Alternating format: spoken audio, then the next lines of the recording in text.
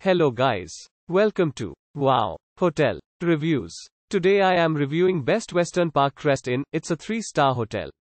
Please use our booking.com link in description to book the hotel and get special pricing. Some of the most popular facilities are one swimming pool, free parking, free Wi-Fi, family rooms and a non-smoking rooms.